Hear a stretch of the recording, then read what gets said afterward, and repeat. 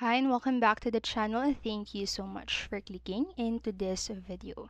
So in this video, I am going to teach you how you can fix Google Takeout using the metadata fixer.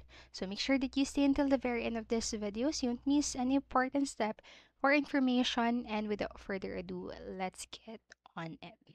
So the first step that you'll need to do for this tutorial is to go to the takeout.google.com and then just simply sign in to your Google Takeout account. So just simply fill in your information right here and just log in in your account and then after that just select Google Photos and deselect all other options. So deselect all and then just check the Google Photos.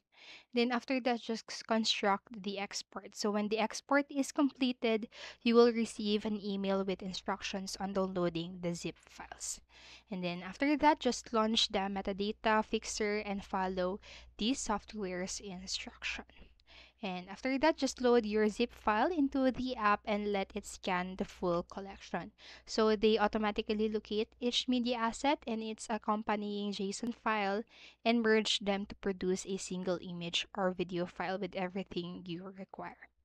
And then after that, just import into other app such as iCloud. So after processing, your photographs can be imported into another library application such as photographs. They will be imported appropriately and chronologically. And so that's it for this video. Those are the steps that you need to do if you want to use the metadata fixer for your Google Transport.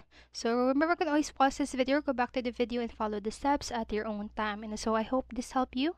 And if it did, please make sure to like, subscribe, and hit notification bell button so you don't miss a video. Thank you so much for watching and have a great day. Bye-bye.